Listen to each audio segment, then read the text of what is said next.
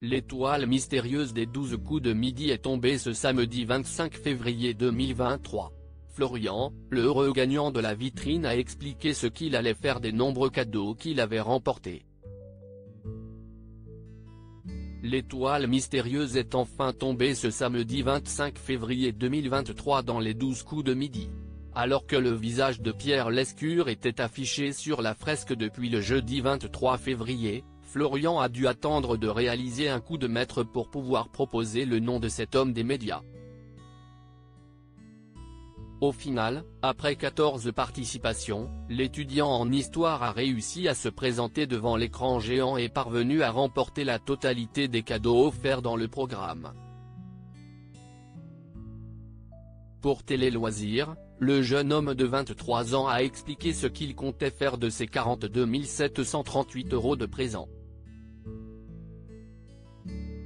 Les 12 coups de midi, Florian rêvait d'un objet en particulier au milieu de l'amas de cadeaux qui compose la vitrine, si est un petit objet qui attisait particulièrement la convoitise de Florian, la Nintendo Switch. Je voulais juste une chose, une console de jeu, la Switch. Si est le truc que je convoitais le plus, explique-t-il.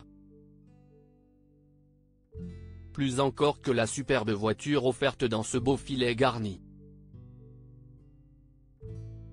Je vais essayer de revendre la voiture, car j'ai déjà la mienne, une petite citadine à laquelle je suis plutôt attaché.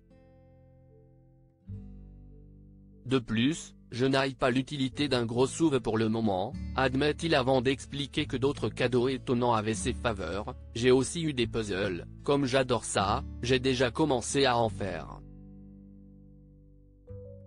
Le maître de midi prévoit un destin divers pour ses autres cadeaux Florian n'a pas encore quitté le nid familial. Avec les cadeaux qu'il a remportés, il dispose déjà d'une solide base pour anticiper un futur emménagement. Et il en a conscience, j'ai une petite crêpière, une machine à raclette, beaucoup d'objets pour la maison. Ça me servira de petit trousseau quand je serai chez moi. Comme beaucoup d'autres avant lui, il ne compte évidemment pas tout conserver, notamment les objets dont il n'a pas usage.